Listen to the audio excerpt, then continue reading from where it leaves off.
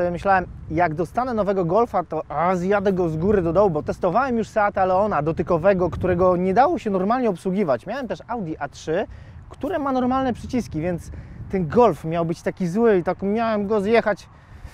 Problem w tym, że to Volkswagen, czyli trudny zawodnik.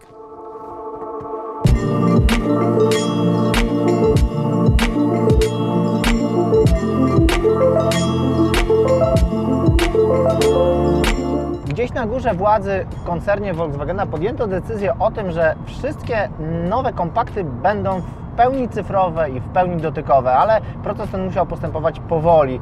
Mam wrażenie, jakby na początek wzięto Seata Leona. Mm, Projekt oddano gimnazjalistom z Hiszpanii i to widać choćby po menu systemu multimedialnego. Mamy tam kolorowe ikonki, których dorosły człowiek po prostu nie rozumie i nie jest w stanie normalnie obsłużyć. Problem pojawił się e, ze Skodą, ponieważ tam mamy konserwatywnych klientów, którzy tak szybko na dotyk nie przejdą, więc tutaj w tym dolnym obszarze pod ekranem multimedialnym pojawiło się kilka przycisków. Jeszcze więcej przycisków dostali klienci Audi, wszak to samochód premium, więc e, za dużą opłatą klienci mogli skorzystać z normalnych przycisków i normalnej obsługi samochodu. Z Golfem było tyle kłopot, że mamy tutaj odbiorców nastawionych na to, że wcześniej mieli świetny w obsłudze samochód i nie mogli dostać czegoś gorszego, a z drugiej strony Volkswagen jest jakby takim wyznacznikiem. Golf jest pionierem w grupie tych czterech kompaktów i ma pokazywać, jak będzie wyglądać przyszłość. Kombinowali, kombinowali, no i wykombinowali wnętrze pozbawione całkowicie przycisków, nie licząc tych na kierownicy, którym wszystko działa, no, prawie wszystko działa świetnie. Pozwólcie, że porównam Golfa z Leonem, bo te dwa samochody są do siebie najbardziej podobne, w pełni dotykowe. W Seacie Leonie, którego miałem przez dwa dni, nie nauczyłem się niczego z obsługi multimediów i tak na dobrą sprawę to nawet nie udało mi się połączyć telefonu.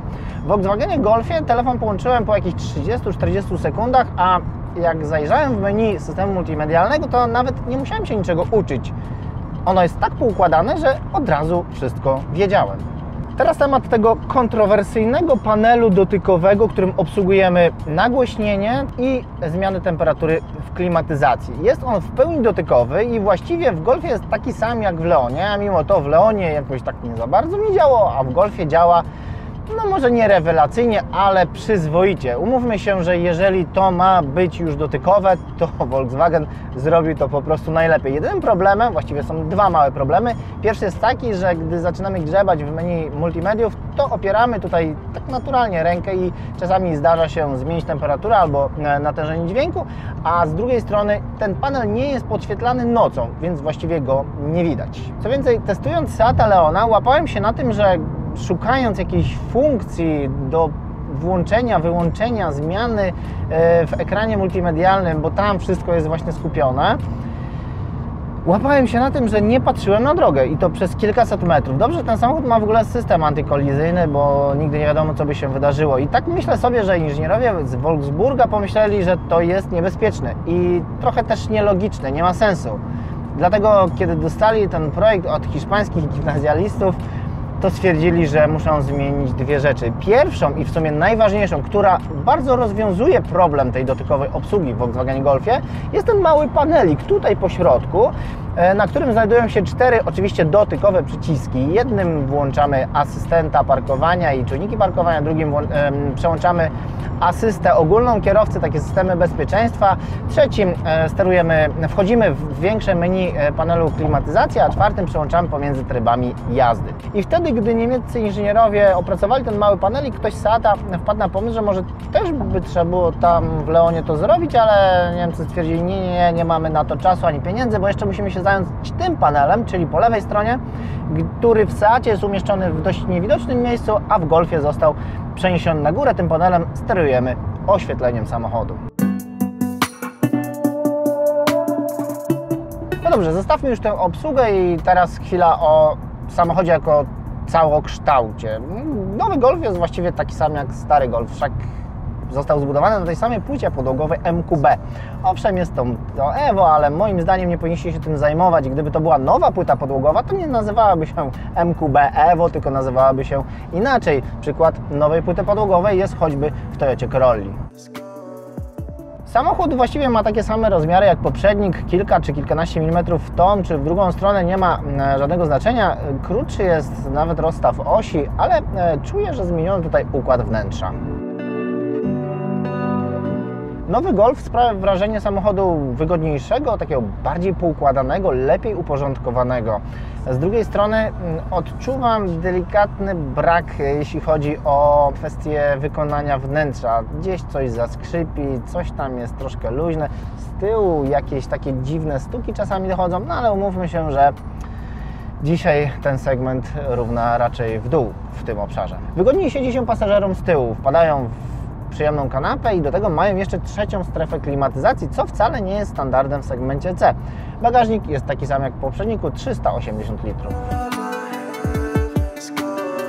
Największą różnicę względem poprzednika poczujemy jednak prowadząc ten samochód. Podczas jazdy naprawdę czuć, że to nowe auto. Szczególnie przyjemnie jest wtedy, kiedy po pierwsze niczego nie wyłączamy, a po drugie mamy literkę E przy skrócie TSI. To małe E oznacza mikrohybrydę, czyli w praktyce nie jest to żadna hybryda, tylko po prostu bardziej rozbudowany rozrusznik. Układ mikrohybrydowy wpływa na pracę silnika, a właściwie na brak pracy silnika, bo gdy zdejmę nogę z pedału gazu, silnik się wyłącza i wchodzi w tryb żeglowania i to z wyłączonym silnikiem, ale dzięki super szybkiemu rozrusznikowi bardzo szybko się uruchamia, kiedy tylko dotknę pedał gazu, pedał hamulca, kiedy zbliżę się do pojazdu z przodu, kiedy dojadę do skrzyżowania, do ronda, czy na przykład ciasnego zakrętu. Co realnie daje to żeglowanie? Ano to, że kiedy samochód jedzie na, kiedy normalny samochód jedzie na biegu jałowym, to silnik i tak pracuje na wolnych obrotach, ale w Golfie ETSI silnik nie pracuje w ogóle, co przekłada się oczywiście na niższe zużycie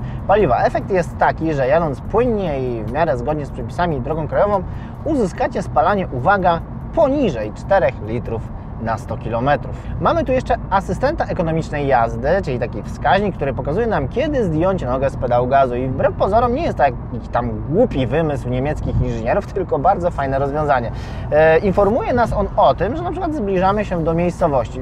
Pojawia się ikonka, zdejmij nogę z pedału e, gazu i kiedy ją puszczamy, mniej więcej dojedziemy e, do miejscowości z taką prędkością, jaką powinniśmy w nią wjechać. A jeżeli będzie zbyt duża, to asystent nawet potrafi delikatnie wyhamować samochód i dzięki temu na przykład nie złapiemy mandatu albo nie strzeli w nas fotoradar bardzo inteligentny samochód. Już słyszę te głosy e, oburzonych ludzi, którzy mówią, że tam ja lubię mieć pełną kontrolę nad samochodem i wszystko wyłączam, ale tak naprawdę, jeżeli chcesz, żeby faktycznie poznać to auto, faktycznie skorzystać z zalet najnowszego Golfa, to właśnie niczego nie wyłączaj.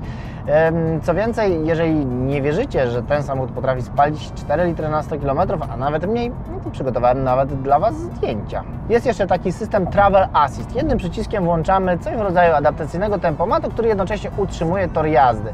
I tak naprawdę nie musimy robić czegoś, czego i tak właściwie nie robimy, bo takie jeżdżenie w korku, czy choćby na drodze szybkiego ruchu, nie za bardzo angażuje w jazdę. E, samochód sam pokonuje zakręty i tak na dobrą sprawę wystarczy tylko dotykać kierownicę, by nic tutaj nam się nie włączało, nie pikało, nie ostrzegało, tak jak się to dzieje w Audi czy Skodach. To wszystko sprawia, że nowy Golf jest samochodem przede wszystkim bezpieczniejszym i bardziej komfortowym. Jest niesamowicie relaksujący podczas jazdy i po prostu czuć, że dopracowany. Jest świetnie wyciszony, zawieszenie pracuje płynnie, ale też nie groźne mu żadne nagłe manewry czy dynamiczna jazda po zakrętach.